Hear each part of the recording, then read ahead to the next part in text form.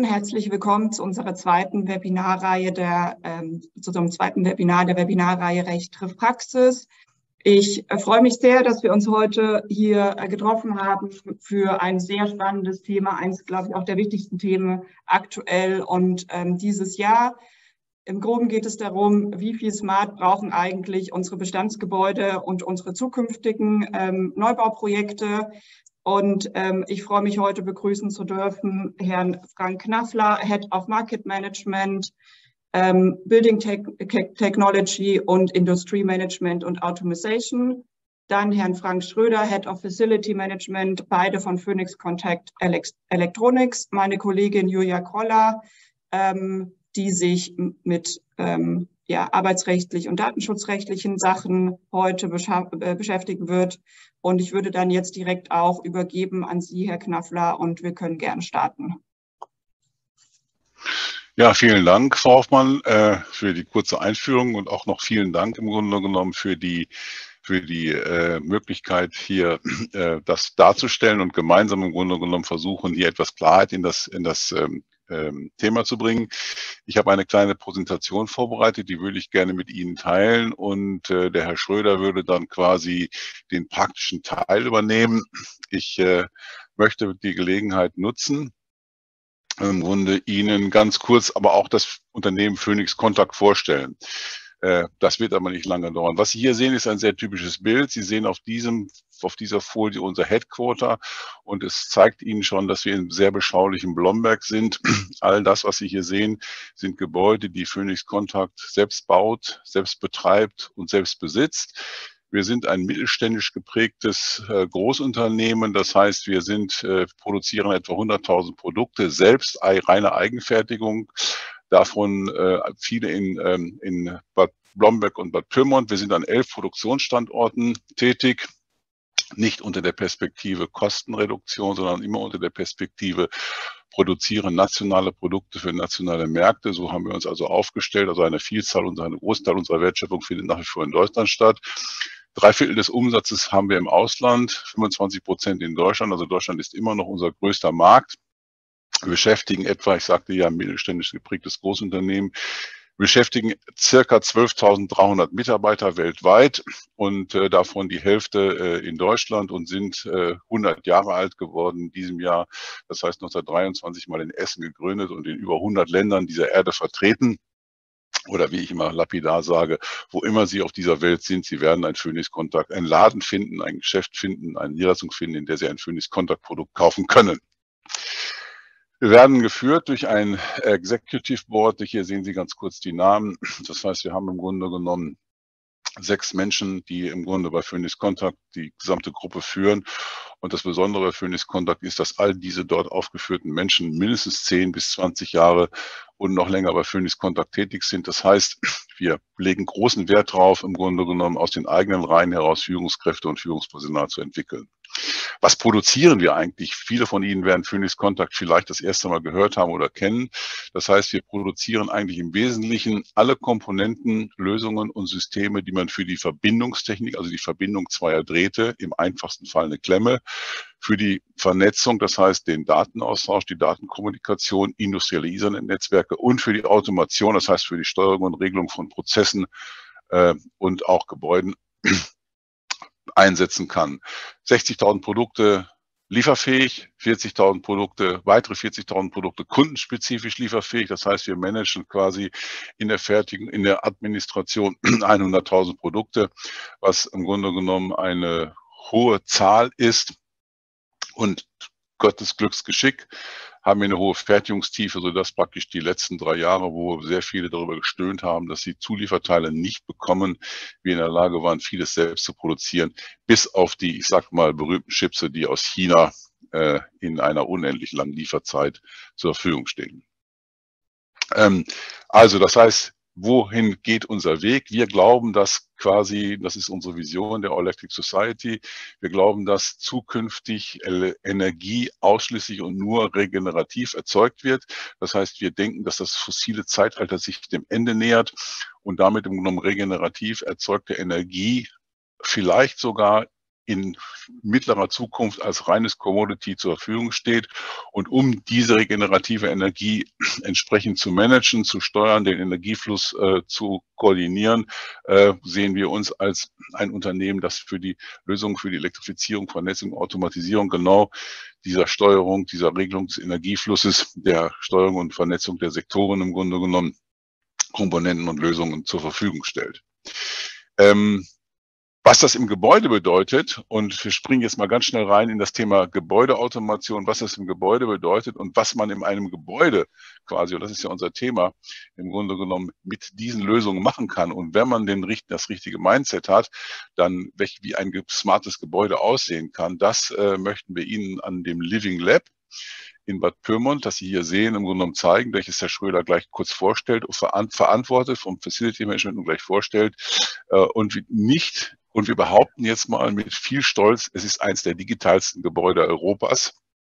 Und von daher würde ich jetzt den Ball rüberspielen zu äh, dem Herrn Schröder.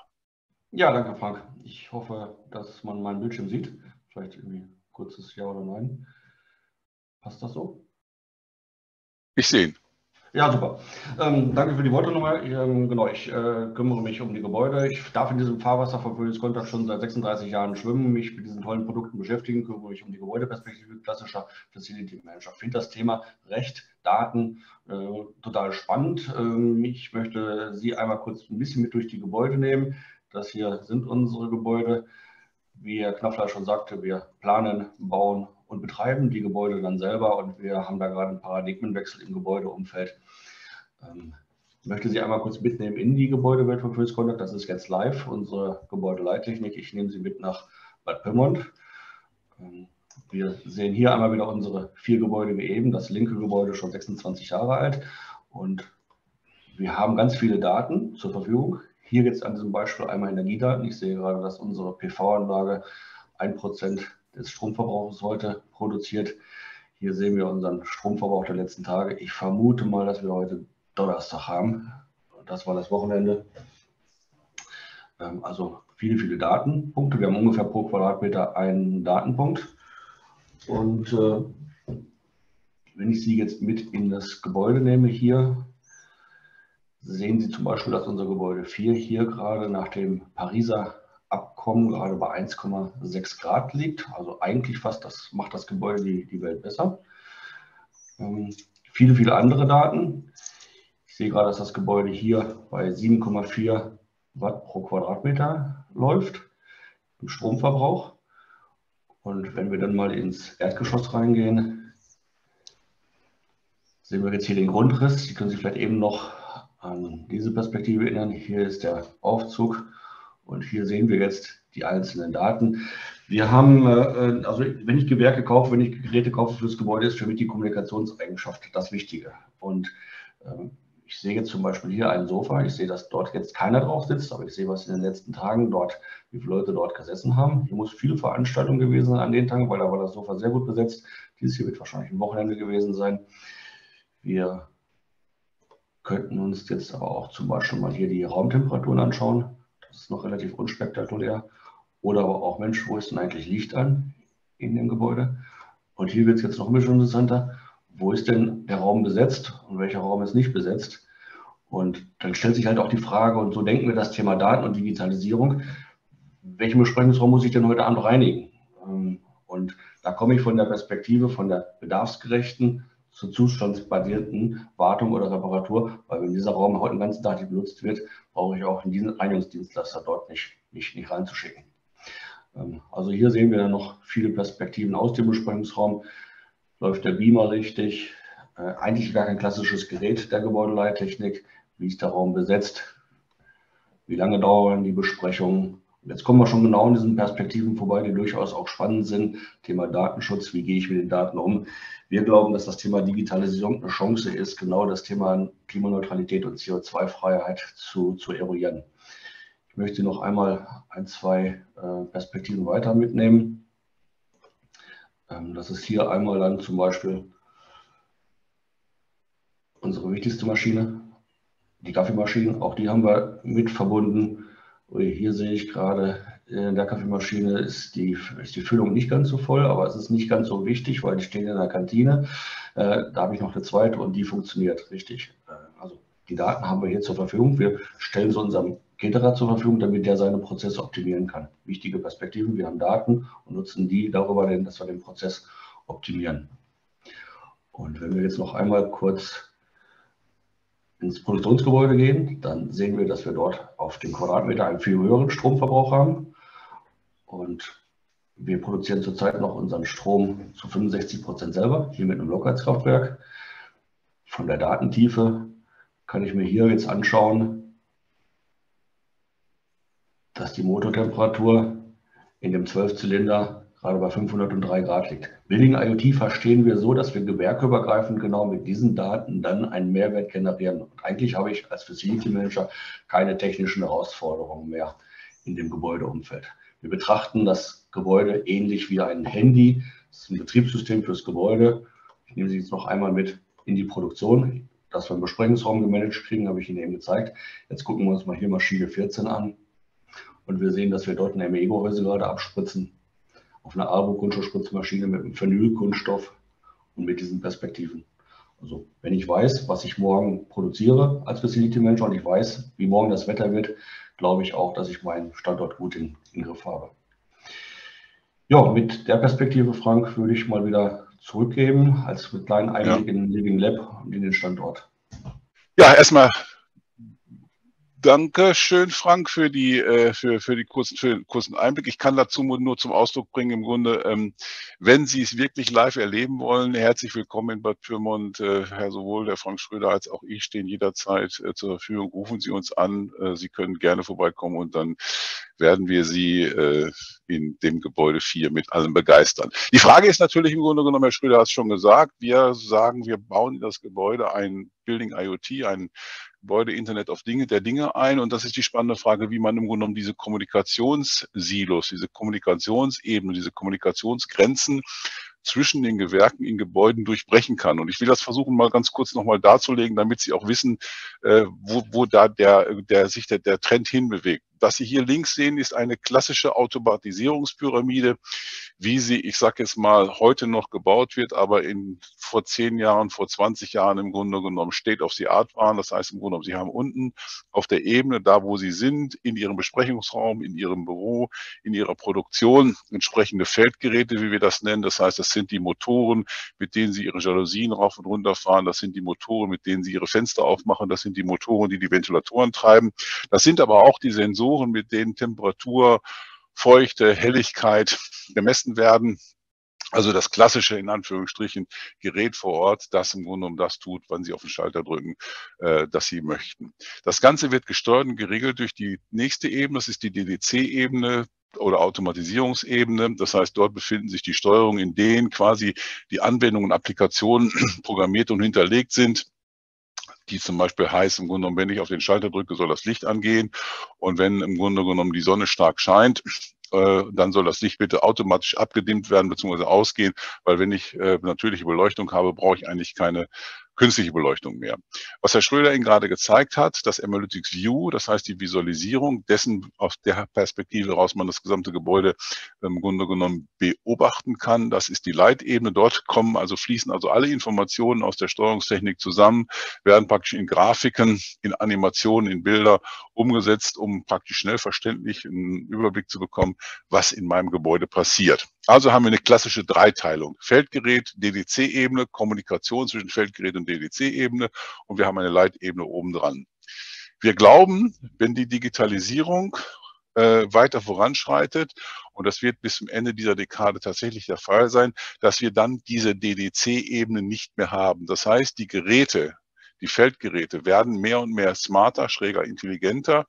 Äh, das heißt, die sind in einem Netzwerk miteinander verbunden so dass ich keine zentrale Steuerungsinstanz mehr brauche, die dem Gerät sagt, wenn ich diese Information vom Sensor, vom, vom, vom Helligkeitssensor bekomme, dann habe ich einen Algorithmus auf meiner Steuerung laufen, im Grunde genommen, der die Beleuchtung in einen entsprechenden Wert einregelt, sondern der Beleuchtungssensor wird seinen Helligkeitswert dem Netzwerk zur Verfügung stellen und der entsprechende Aktor, mit dem die Beleuchtung eingestellt wird, wird diesen Wert aufnehmen und wird dann wissen, dass er mit diesem Wert im Grunde genommen arbeiten kann. Das heißt, wir verteilen die Applikationen eigentlich mehr und mehr in die Intelligenz der Geräte.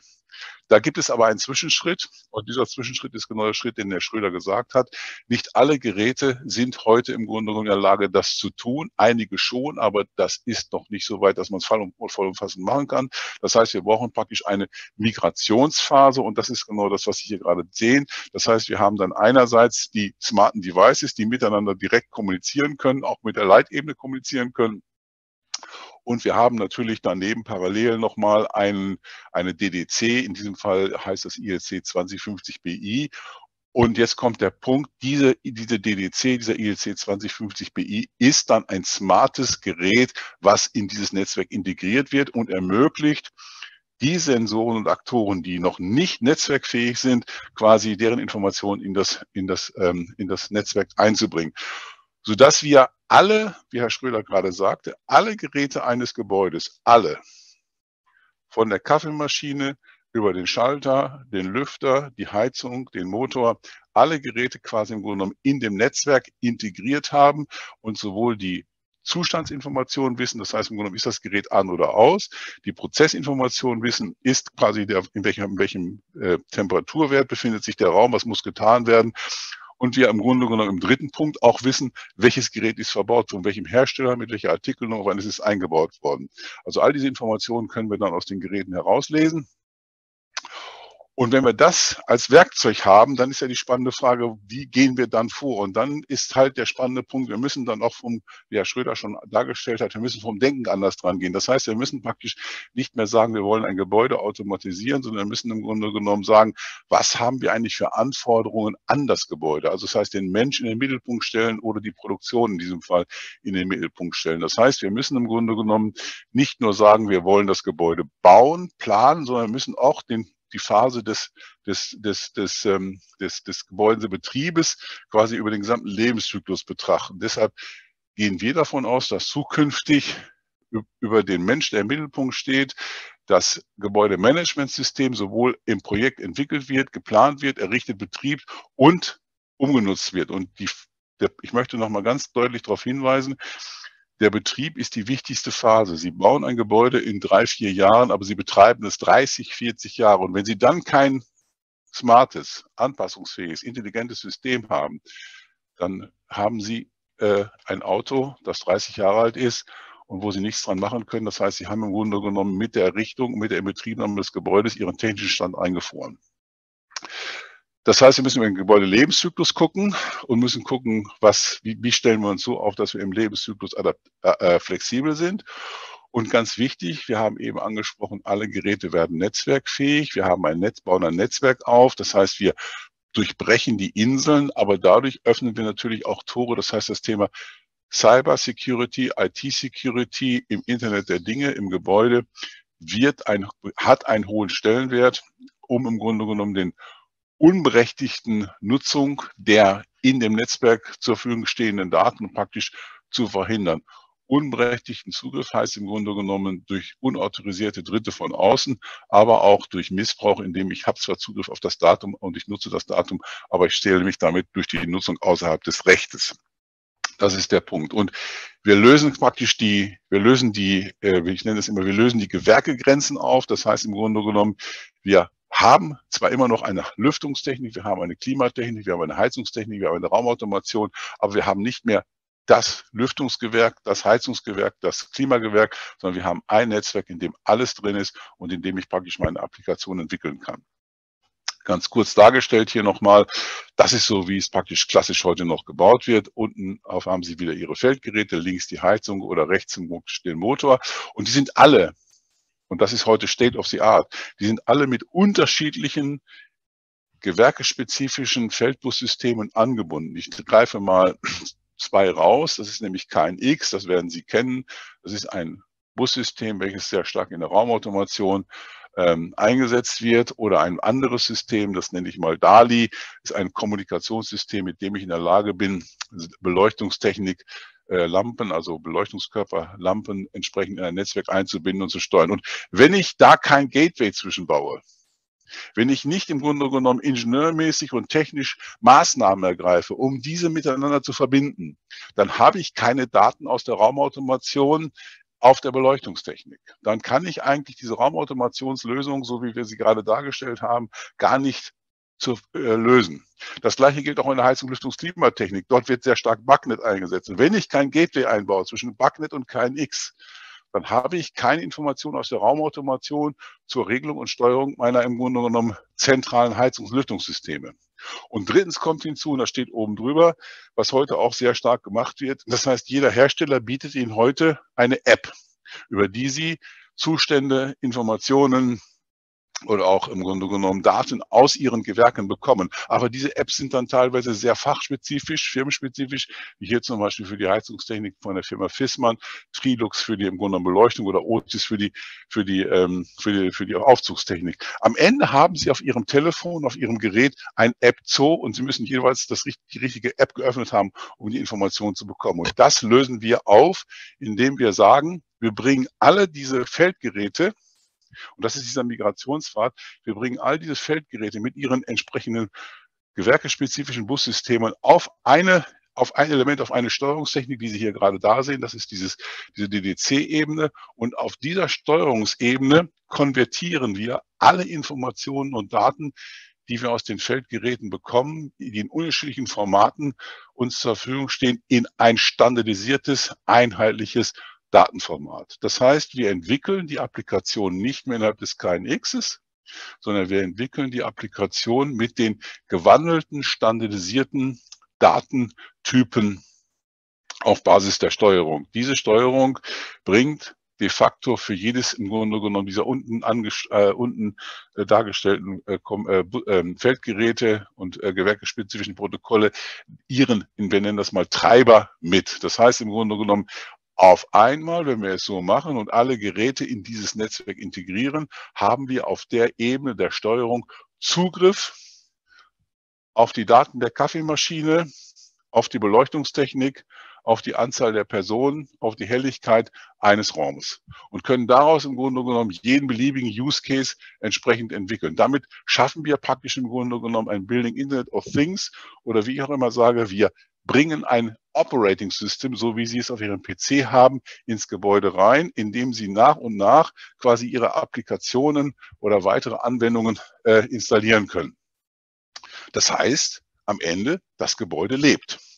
Denn deutsche Ingenieure glauben, und ich bin selbst Ingenieur, deshalb darf ich das sagen, glauben, dass sie jetzt schon darüber denken, nachdenken können, wie sie in fünf Jahren eine Aufgabe lösen, was für eine Aufgabe das ist und dass sie eine 100%-Lösung schaffen können. Das ist die Denke des Gebäudeautomatisierungs, klassischen Gebäudeautomatisierungsingenieurs.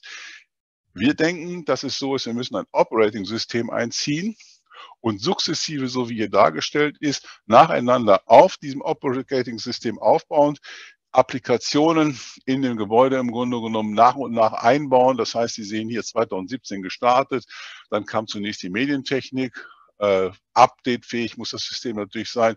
2019 kamen intelligente Mülleimer, das heißt, wir haben Mülleimer verbaut, die automatisiert den Füllstand zur Verfügung stellen mit dem Ziel, Use Case, Reinigungspersonal quasi weiß, wenn der Mülleimer nur ins Viertel leer ist, muss ich da nicht vorbeifahren äh, und den leeren erst, wenn er voll ist. Wir haben im Grunde genommen den Wischroboter. Das, Frau Hoffmann, Sie erinnern sich, das war das schöne Beispiel, dass der Wischroboter praktisch automatisiert in Abhängigkeit des Bedarfs ist Dreck vorhanden, also ist der Boden dreckig, weil es draußen geregnet hat, weil wir wissen, dass über die Wetter-App praktisch im Grunde zur Tür fährt und an der Tür wischt, aber auch im Grunde mit dem Fahrstuhl durch die Etagen fahren kann, in die richtige Etage fährt und in den Etagen reinigt. Der Schröder hatte es gerade angesprochen. Wir haben das Lastmanagement für die äh, Ladesäulen damit drin. Das heißt im Grunde genommen, wenn wir Energie am Standort äh, bereitstellen und Sie kommen mit Ihrem Elektroauto, dann können Sie sich selbstverständlich bei uns am Standort einladen, eindocken. Es kann aber sein, dass wir Ihnen nicht die ganze Leistung geben, die Sie so gewohnt sind, 250 kW, wenn Sie schon High-Power-Charging machen, sondern vielleicht nur 50 kW, weil wir so viel Energie gar nicht im Moment haben. Aber das geschickt managen oder dass zum Beispiel das Thema Raumbuchung so ist, dass Sie von Ihrem Schreibtisch aus mit der Terminbuchung gleichzeitig sagen können, welchen Raum buche ich.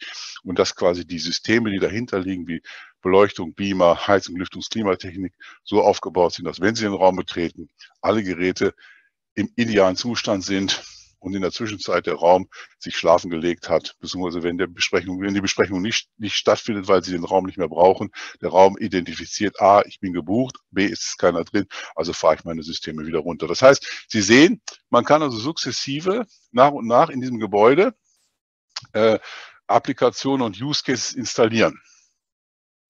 Wie geht das? Wie kann man das machen? Was, was muss man dann, was muss man, ich habe gesagt, wir müssen uns dann ein bisschen anders aufstellen.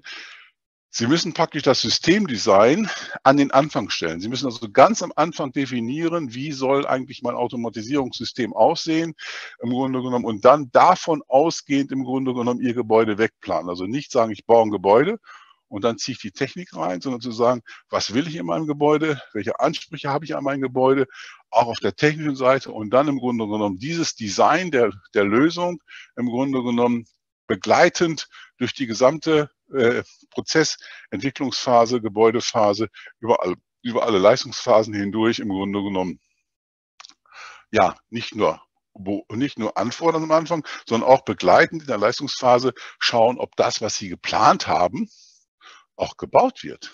Das ist ja der nächste Punkt. Wenn Sie können ja die dollsten Dinge planen und am Ende, wenn Sie als Bauherr reinkommen, geht das Licht an. Aber ob das Licht tatsächlich, ob, die, ob das System, das Automatisierungssystem tatsächlich das tut, was Sie am Anfang gefordert haben, das müssen Sie ja während des Bauprozesses monitoren, beobachten. Und auch das ist Systemdesign. Das heißt, während des gesamten Prozesses quasi zu überprüfen, ob das Systemdesign, ob der Plan im Grunde genommen auch in der Realität umgesetzt wird. Bedeutet, wir müssen ein Integrationsmanagement über alle Leistungsphasen sicherstellen und nicht sequenziell sagen, wir geben das Integrationsmanagement immer an die nächste Instanz. Um Abläufe zu automatisieren, um die Bedienung komfortabel zu halten, das sind zwei Perspektiven, wo der Mensch im Grunde im Mittelpunkt steht, aber im Grunde genommen auch zu sagen, okay, wie kann ich den Energieeinsatz so effizient wie möglich gestalten? Und, Herr Schröder hat es angesprochen, 1,5 Grad Ziel Paris, im Grunde genommen, wie kann ich die geringste CO2 Emission erzeugen? Das heißt, wie kann ich im Grunde genommen meine CO2 Emissionen überhaupt erstmal bilanzieren und welche Maßnahmen kann ich ergreifen, um den CO2, die CO2-Emissionen nachhaltig äh, zu reduzieren bis zur CO, bis zum CO2-neutralen Betrieb. Und das bedeutet, wir müssen das gesamte Gebäude digitalisieren. Wir müssen Möglichkeit haben, steuern und regeln auf alle Geräte und alle im Grunde genommen Komponenten eines Gebäudes einzugreifen. Und das bedeutet, dass alle Geräte und Komponenten in ein Gebäudenetzwerk technisch integriert werden, dass wir eine Infrastruktur schaffen, das Internet der Dinge im Gebäude, ein Kommunikationsnetzwerk schaffen. In der Regel ist es ein Ethernet-Netzwerk, mit dem wir praktisch im Grunde genommen alle Geräte und Komponenten miteinander ver verbinden. Und ich darf hier auch meinen Kollegen Frank Schröder zitieren. Die Leute müssen dann miteinander reden, die am Prozess beteiligt sind. Solange die Leute nicht miteinander reden, können auch die Maschinen nicht miteinander reden. Und das ist der entscheidende Punkt.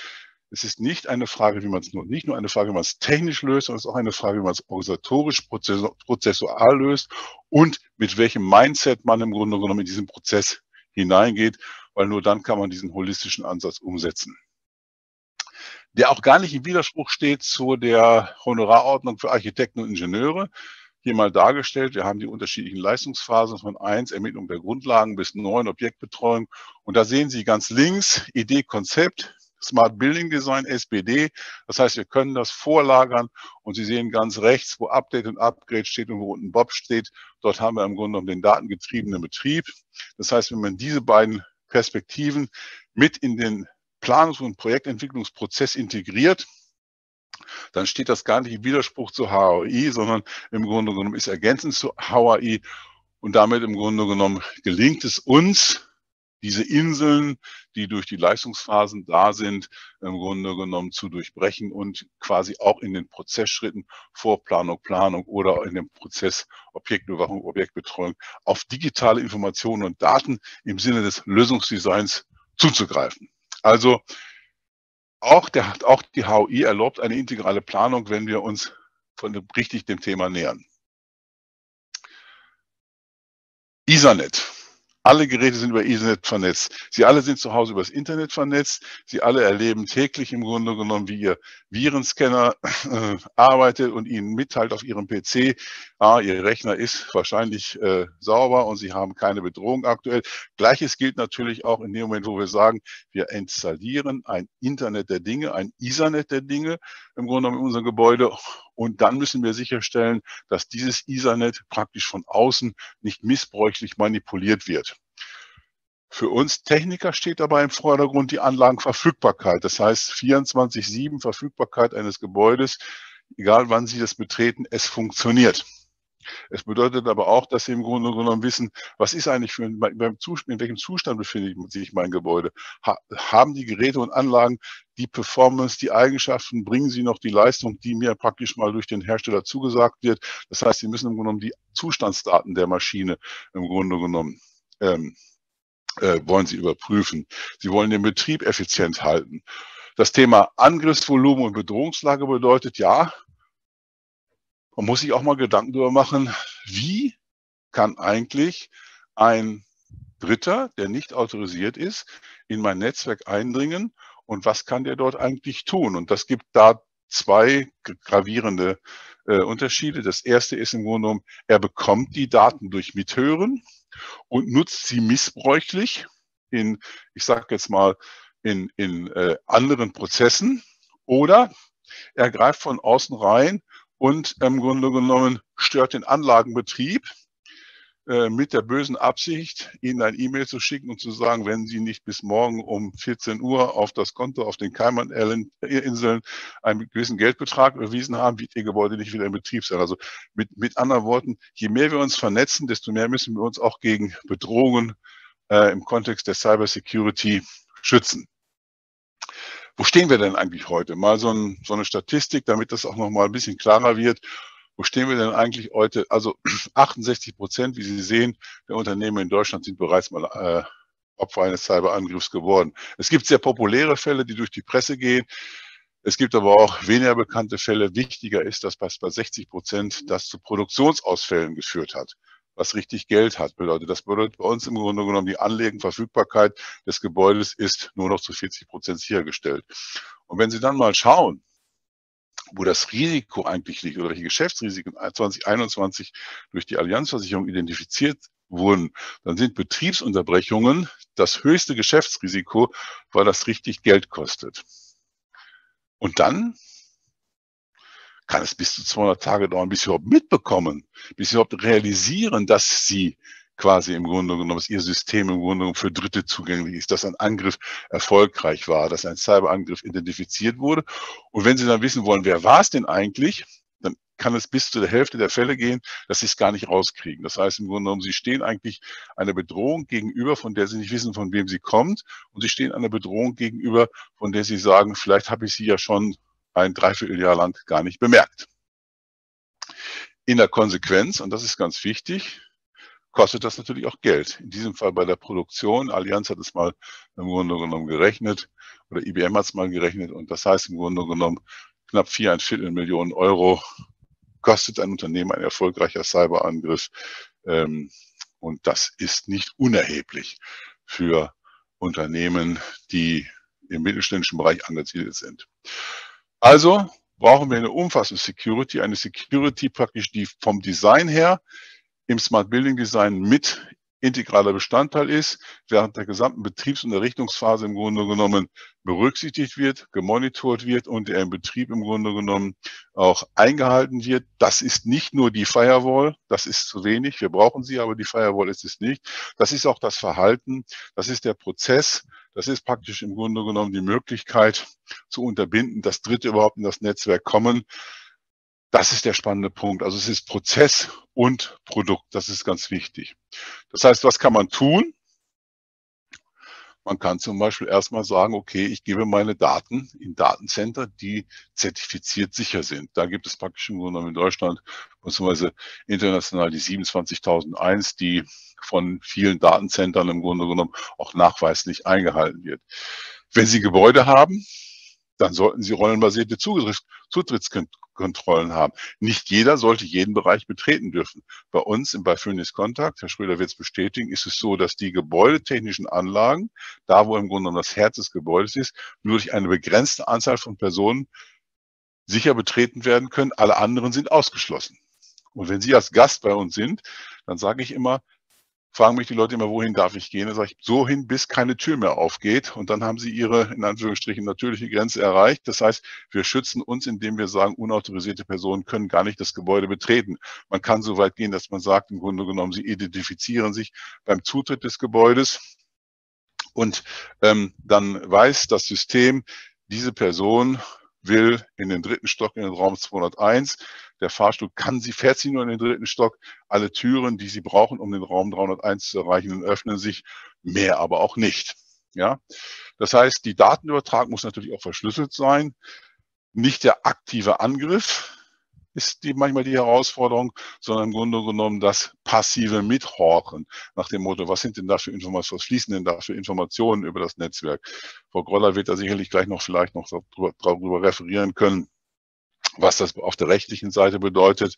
Ich sage Ihnen, auf der, auf der technischen und kommerziellen Seite bedeutet das, ähm, wenn ich mithorche, welche im Grunde genommen Produkt, welche Maschinen was produzieren, gelingt es mir nach wenigen Tagen eine Analyse über die Produktivität und Wirtschaftlichkeit des Unternehmens zu machen.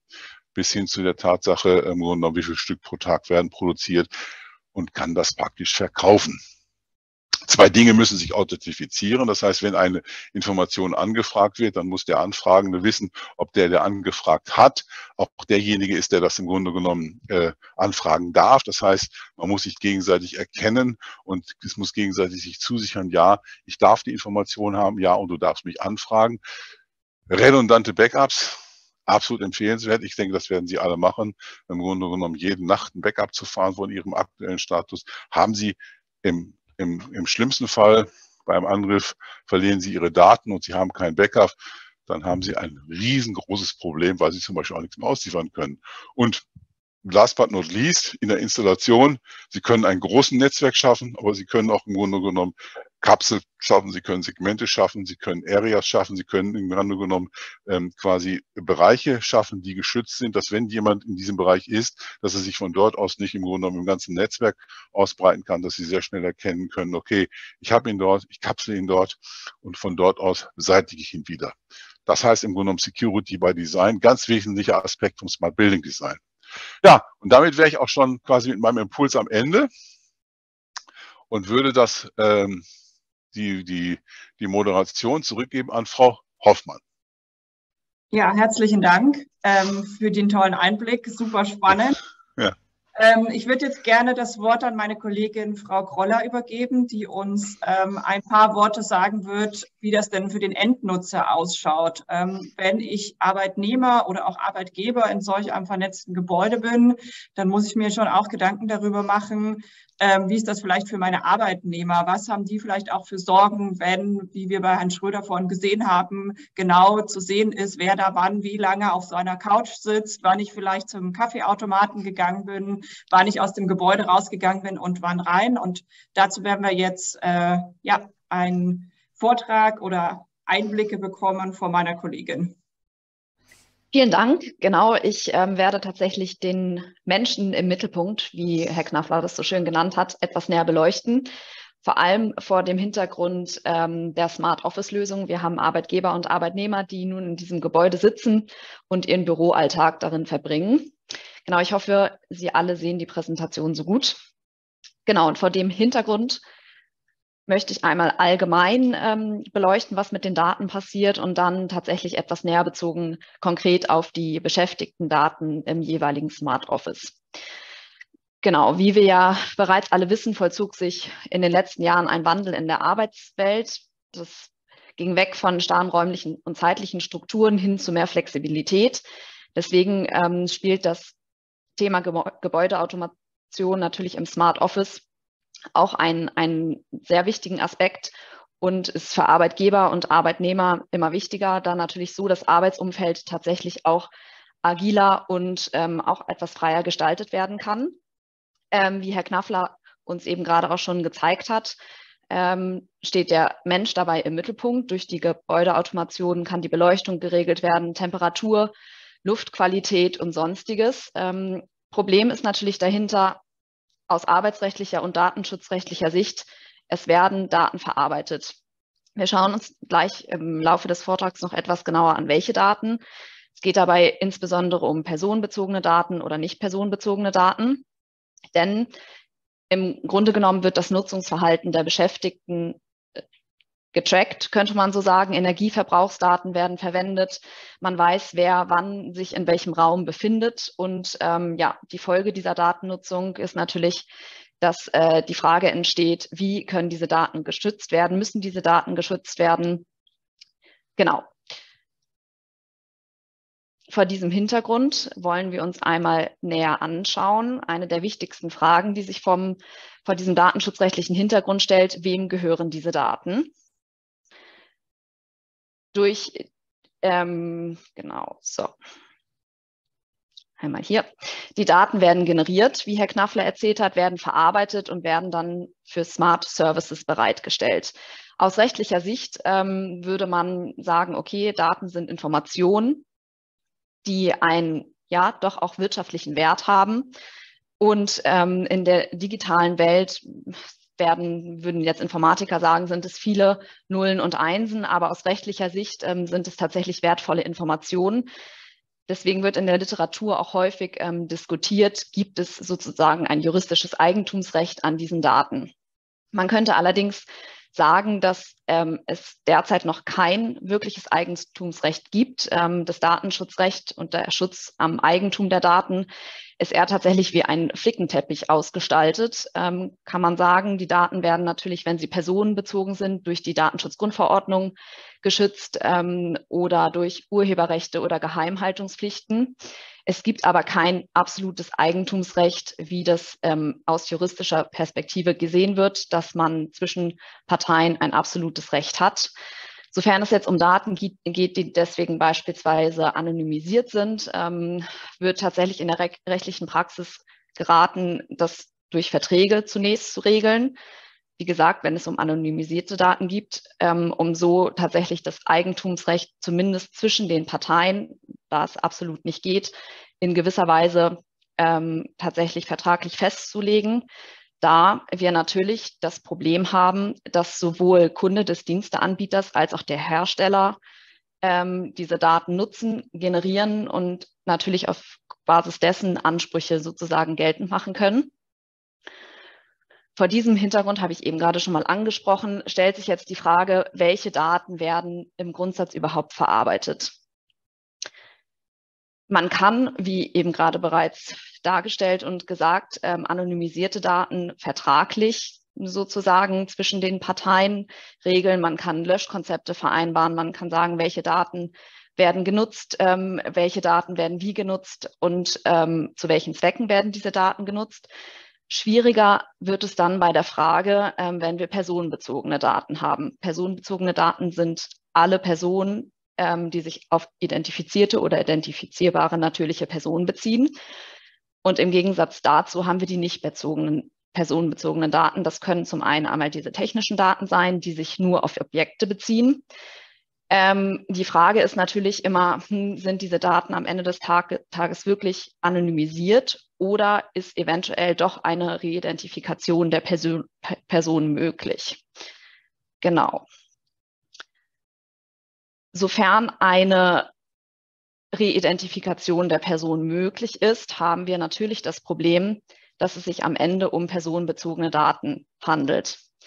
Diese personenbezogenen Daten unterliegen dem europäischen Datenschutzrecht, ähm, der DSGVO und natürlich auch, je nachdem, ob Beschäftigtendaten verarbeitet werden, zum Beispiel dem 26 Bundesdatenschutzgesetz. Dazu werde ich aber später noch einmal näher eingehen. Vor diesem Hintergrund ähm, wollen wir jetzt einmal in die Praxis schauen. Wir haben ein Büro, Arbeitgeber, Arbeitnehmer, diese nutzen diese Gebäudeautomation. Jetzt fragt sich der Arbeitnehmer, hm, was passiert mit meinen Daten? Kann man diese Daten tracken? Werde ich vielleicht überwacht? Ähm, kann man sehen, wann ich mich einlogge, wann ich das Büro betrete, wann ich das Büro verlasse? was passiert mit meinen Daten? Werden diese Daten gespeichert? Habe ich vielleicht arbeitsrechtliche Nebenwirkungen oder Nachwirkungen zu befürchten, wenn der Arbeitgeber sieht, oh, ähm, der Arbeitnehmer ist doch eine Stunde zu spät ins Büro gekommen. Genau, das wollen wir uns jetzt anhand ähm, der nächsten Folien einmal etwas genauer ansehen und betrachten einmal einen, Ta einen Tag im Smart Office als Arbeitnehmer. So, der Arbeitnehmer kommt in das automatisierte Gebäude, sein Gesicht wird erfasst, biometrisch, die Tür öffnet sich. Durch ein Bürobuchungssystem über eine App kann er sich einchecken. Ähm, er betritt das Gebäude bzw. das Büro, das Licht geht an, die Klimaanlage geht an.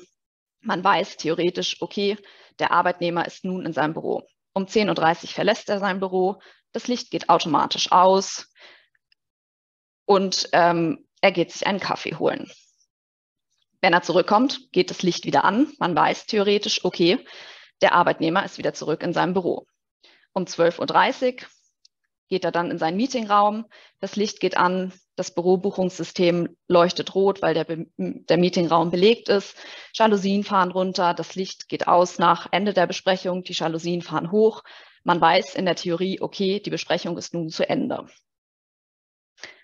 Vor diesem Hintergrund stellt sich natürlich die Frage für den Arbeitnehmer, okay, hm, was passiert mit meinen Daten? Die Frage ist, kann man den Nutzer des Büros sozusagen identifizieren? Kann man aus, anhand der Daten auswerten, okay, der Arbeitnehmer ist um die Uhrzeit in sein Büro gegangen, hat um die Uhrzeit Kaffeepause gemacht, war um die Uhrzeit im Meetingraum, hat dann seinen Meetingraum verlassen und ist eventuell eine Stunde früher als vereinbart aus dem Büro gegangen. All diese Fragen stellen sich und das Problem ist, dass diese Daten dann möglicherweise einfach nicht mehr anonym sind und somit dem Datenschutz unterliegen. So, die Frage ist nun, hm, wie kann man dem Datenschutzanforderungen aus betrieblicher Sicht Rechnung tragen? Das wollen wir uns jetzt in den nächsten Folien einmal etwas genauer angucken. Wir hatten bereits festgestellt, ähm, personenbezogene Daten unterliegen datenschutzrechtlichen Anforderungen der DSGVO, dem Bundesdatenschutzgesetz und, sofern ein Betriebsrat besteht, natürlich auch dem Betriebsverfassungsgesetz. Problematisch ist, diese personenbezogenen Daten ähm, können, wie gesagt, Standortdaten generieren und nicht nur Rückschlüsse auf den individuellen Aufenthalt geben, sondern möglicherweise auch auf Leistungs- ähm, und Verhaltensweisen zum Beispiel, okay, der Arbeitnehmer hat eventuell seine acht Stunden an dem Tag nicht gearbeitet, weil er drei Stunden Kaffeepause gemacht hat, beziehungsweise weil er drei Stunden nicht in seinem Büro war. Genau. Aus dem 26 Bundesdatenschutz ergibt sich grundsätzlich, dass die Verarbeitung personenbezogener Daten von Beschäftigten erlaubt ist, wenn sie für die Zwecke des Beschäftigungsverhältnisses erforderlich sind.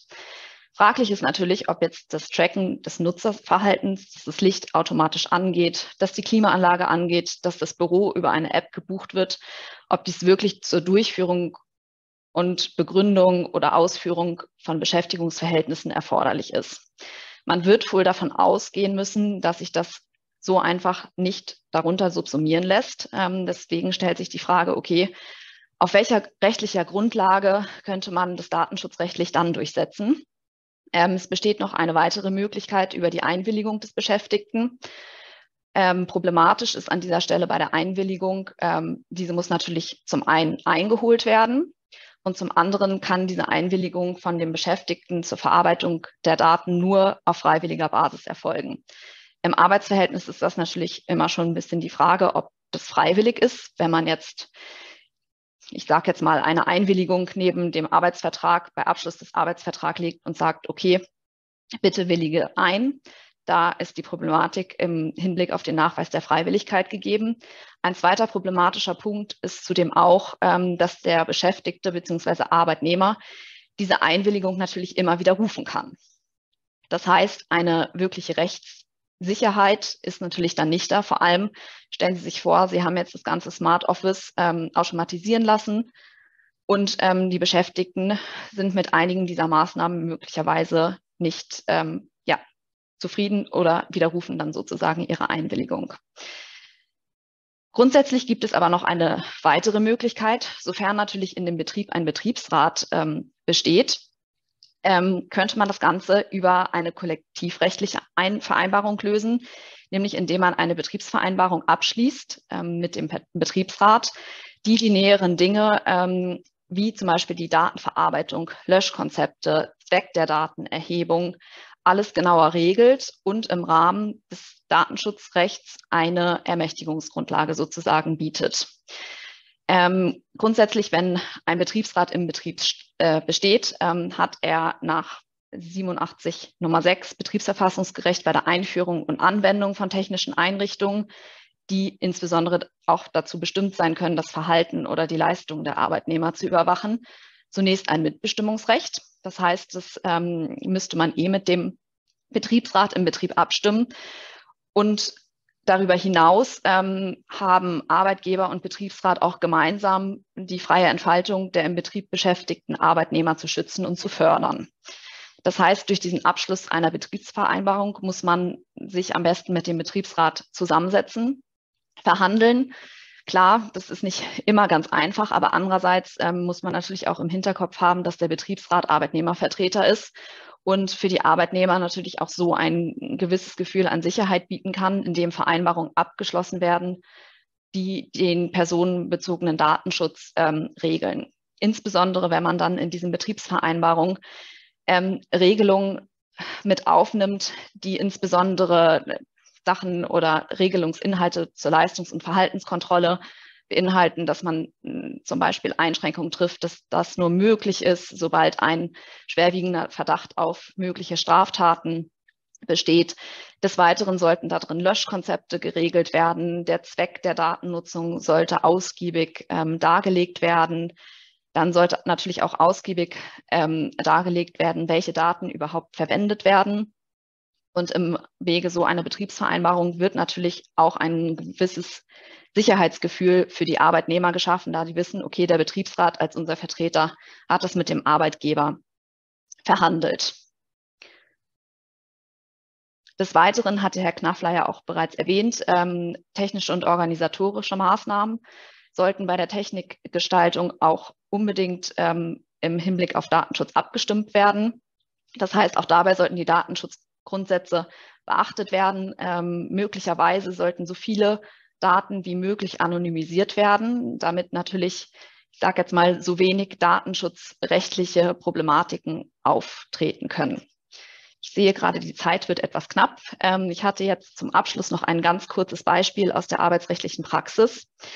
Ähm, und zwar geht es da um das Problem ähm, eines Arbeitszeitbetruges. Ich werde es jetzt nur einmal ganz kurz zusammenfassen.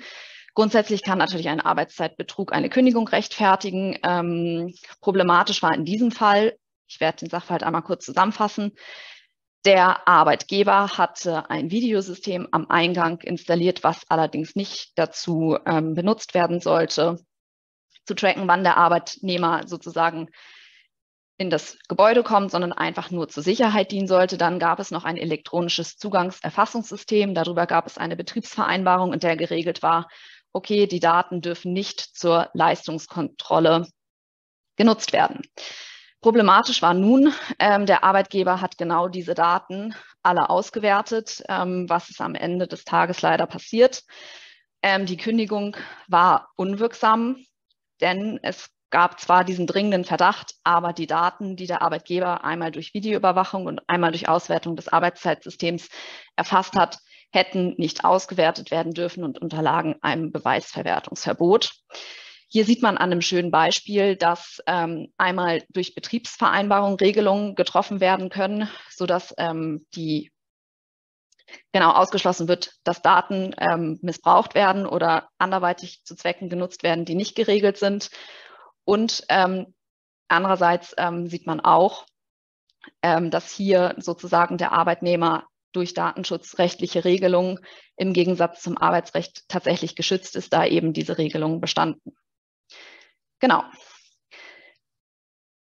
Dann Fazit und Ausblick, nur noch einmal ganz kurz. Ähm, der 26 Bundesdatenschutzgesetz ist gerade tatsächlich in aller Munde, ähm, da es eine EuGH-Entscheidung Ende März gab, die so kurz und knapp zusammengefasst hat, dass der in seiner derzeitigen Form so nicht bestehen kann, da nur Regelungen der Datenschutzgrundverordnung wiederholt werden. Es bleibt daher sehr spannend, was sich der Gesetzgeber nun überlegt. Es wurden bereits Vorschläge in einem Positionspapier vorgelegt für einen modernen Beschäftigten-Datenschutz. Es sollen auch viele technische Umsetzungen vor dem Hintergrund der Digitalisierung erfolgen, auch was ähm, die Nutzung von genau eben Daten in Gebäudeautomationen und im Smart Office betrifft, geregelt werden. Ja, es bleibt abzuwarten, ob der Gesetzgeber das auch so umsetzt und das, ob das am Ende des Tages auch praxisrelevant ist. Genau. Vielen Dank. Ja, vielleicht äh, eine kleine Zusammenfassung von meiner Seite. Also aus meiner Perspektive ähm, haben wir heute gehört, wir brauchen für unsere Bestandsimmobilien, aber auch für unseren Neubau ähm, viele intelligente Systeme, vor allen Dingen auch um ja, die Aufgaben in Bezug auf Energietransformation und Nachhaltigkeit für die Zukunft umsetzen zu können. Wir haben auch gehört, wir haben verschiedene arbeitsrechtliche und datenschutzrechtliche Anforderungen, die wir beachten müssen. Aber die guten News sind, wir bekommen das alles in den Griff. Wir müssen unsere Arbeitnehmer mitnehmen. Ähm, natürlich auch durch so ähm, coole Sachen. Ich freue mich immer über dieses Roboterbeispiel, wenn der einfach so durchs Gebäude fährt und gerufen werden kann und die Sachen aufwirft. Das sind Kleinigkeiten, aber durch solche Sachen kann man auch immer seine Mitarbeiter mitnehmen. Und ähm, wenn Sie solche Konzepte installieren wollen in Ihrem Haus, in Ihrem Office mit Ihren Arbeitnehmern, nehmen Sie die mit. Ähm, hören Sie sich an, was die vielleicht gerne hätten, was sie gerne nicht hätten und schauen Sie dann, wie Sie das äh, umsetzen können. Wir freuen uns, dass Sie heute an unserem Webinar teilgenommen haben. Wir haben uns ähm, jetzt auch im Nachgang noch Zeit genommen, falls Sie noch Fragen haben oder mit uns gerne diskutieren wollen. Ja, Herr Knaffler, Sie dürfen gerne sich zu Wort melden. Also ich möchte nochmal vor dem Hintergrund auch, was Frau Groller gesagt und vor dem Hintergrund, was wir vorgestellt haben, nochmal deutlich darauf hinweisen. Ähm, Personenbezogene Daten, Frank, da stimmst du mir bestimmt sofort zu. Personenbezogene Daten brauchen wir für den smarten Betrieb eines Gebäudes nicht. Ich muss nicht wissen, dass Frau Hoffmann dann und dann in dem Büro gesessen hat. Was wir natürlich brauchen, sind im Grunde genommen die durch den Nutzer ausgelösten Informationen. Das heißt im Grunde genommen, ist Ihr Arbeitsplatz besetzt oder ist Ihr Arbeitsplatz nicht besetzt? Wer dort sitzt, ob Sie das sind oder Ihre Kollegin sich da hingesetzt hat, ist für, die, für den smarten Betrieb eines Gebäudes und für die Information vollkommen irrelevant und ist auch nicht Gegenstand im Grunde genommen einer jeglichen technischen Lösung an der Stelle. Die Herausforderung, und da kann Frank Schröder gleich noch ganz kurz was zu sagen, besteht natürlich darin, dass wenn man tiefer reingehen will, zum Beispiel Sprachsteuerung nutzen möchte mit Alexa, dass dann im Grunde genommen auf einmal sehr viel Bedenken entstehen, wie Sie schon so schön gesagt haben, bei, bei den in dem Büro tätigen oder in, in dem Hausgebäude tätigen Menschen nach dem Motto, bin ich dann trotzdem identifizierbar. Und das ist der Punkt, den man sicherlich im Grunde genommen sehr klar auch kommunizieren muss und dass man auch sehr klar, ich glaube, darlegen, dass das nicht der Fall ist, dass man im Grunde ähm, in der Lage sein kann, ähm, äh, äh, identitätsfrei im Grunde genommen Daten zu nutzen, mit Ausnahmen wie zum Beispiel Zutrittskontrolle, äh, Hotelzutritt, etc., etc., aber auch da kann man sicherlich anonymisieren. Und wenn ich da vielleicht eine Rückfrage stellen darf, die Daten werden ja. dann auch so erfasst, dass die dann wirklich nicht auf die Person quasi zurückführbar sind. Also angenommen, ich hinterlege mir für mein Büro ein bestimmtes Nutzerprofil. Ich hätte gerne immer 22,5 Grad. Mein Tisch wird immer auf die Höhe X gestellt und ähm, im Winter hätte ich gerne immer 25,5 Grad. Das ist dann auch durch mein Nutzerprofil, was ich mir einstelle für mein für meine Office-Nutzung dann trotzdem nicht auf mich rückführbar, weil nur ich diese Daten quasi habe ähm, und sonst kein anderer Arbeitnehmer. Also weil die Frau Kroller zum Beispiel sagt, ich brauche es immer ein bisschen kälter oder ein bisschen wärmer. Dann ist halt klar, okay, ich kann nicht in dem Büro sitzen, wenn diese bestimmten Daten vom System abgerufen werden. Solange, solange Sie, äh, also das System, so, und so ist es auch aufgebaut, solange Sie nicht im Grunde mit Ihrem Kollegen darüber sprechen, welche Nutzerdaten Sie im Grunde genommen eingestellt haben, in ihre, was Ihr, Ihr Profil ist, dass Sie für sich persönlich identifiziert haben, das System erkennt Ihr Profil nicht äh, und kann, erkennt ihr Profil, aber kann ihr Profil, kann ihr Profil ihnen nicht zuordnen. Es weiß nur, jetzt ist die wieder die Person da, die das Profil angelegt hat, 22 Grad, äh, 50 Prozent Beleuchtung und Schreibtisch äh, 82 Zentimeter. Äh, wer das ist, weiß das System nicht, wenn Sie es ihm nicht sagen oder mit Ihren Kollegen darüber sprechen. Aber ich muss ja irgendwo in der App irgendwann mal diese Daten für mich hinterlegen. Das heißt, irgend, also ich muss ja irgendein System muss ja wissen, wenn die Frau Hoffmann ins Büro kommt, muss ich auf 22,5 Grad kühlen. Nee, Sie müssen im Grunde genommen nur sagen über Ihre App äh, Profil 1 und dann sendet Ihre App im Grunde Ihre App, ohne dass praktisch eine Signatur dahinter liegt, von wem das kommt. Okay. Ich stelle das jetzt ein. Ich brauche ja nur die Information. Ich brauche ja nicht wissen, von wem die Information kommt. Wenn man es natürlich, ähm, jetzt, ich weiß, dass wir auch ähm, äh, Hotelbetreiber mit drin haben und wenn ich jetzt zum Beispiel an bestimmte Gebäude denke, wie zum Beispiel ähm, The Cube in Berlin oder Montagne du Parc mhm. in Brüssel, da ist es halt so, das haben wir heute schon. Sie haben heute schon über eine RFID oder über eine NFC-Karte im Grunde um autorisierte Zutrittssysteme, wo Sie praktisch sagen, aus Sicherheitsgründen sagen, okay, ich bin autorisiert, diesen Raum zu betreten. Das heißt aber nicht, ganz wichtig, wenn da kein Mensch sitzt, der Sie kennt, gibt's ja auch, wenn da kein Mensch sitzt, der Sie kennt, heißt das nur, diese Karte darf die Tür öffnen. Wer die Karte in der Hand hat, weiß auch kein Mensch. Wenn nicht jemand sitzt, der dann nochmal prüft, dürfen Sie diese Karte haben, wie ist Ihr Ausweis und so weiter. Aber dann sind wir in ganz anderen Sicherheitsbereichen im Grunde genommen unterwegs, die Sie von vornherein akzeptieren, wenn Sie da reingehen. Aber am Ende des Tages ähm, muss keiner wissen, wem das Telefon, die Karte oder diese Einstellung gehören für den smarten Betrieb des Gebäudes. Das heißt, damit mein Arbeitgeber quasi keine Daten über mich als Person hat, quasi identifiziere ich mich in diesem smarten System nicht als meine Person, sondern als Nutzer 1, 2, 3, 5, 18, 25. Zum Beispiel, zum Beispiel, ja. Wäre eine Lösung. Kann eine Lösung sein. Und wenn Sie jetzt äh, einen Wunsch an den Gesetzgeber stellen könnten, was wäre jetzt Ihr Wunsch, um quasi diese ganzen smarten Systeme besser installieren zu können und ähm, damit wir jetzt quasi unsere Gebäude fit für die Zukunft bekommen?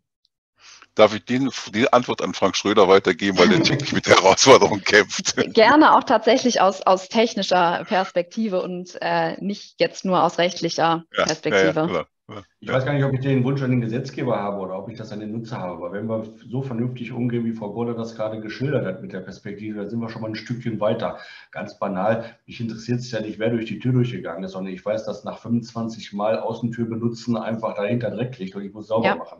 Und ich glaube, wir brauchen genau die Perspektive, die Frau Goller eben gerade reingeschrieben hat, sinnhaft mit diesen Perspektiven umzugehen und nicht das Feigenblatt drüber zu gehen, es geht nichts.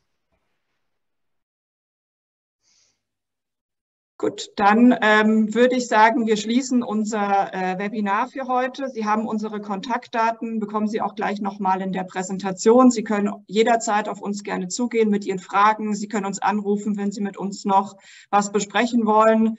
Ähm, wir hoffen, Sie hatten eine schöne Zeit. Ich fand es wie immer sehr spannend. Ich danke auch unseren ähm, Gästen von Phoenix Contact, dass Sie heute mit uns dieses Webinar gemacht haben. Ich danke meiner Kollegin, dass sie sich die Zeit genommen hat. Ähm, und dann freuen wir uns auf das nächste Mal.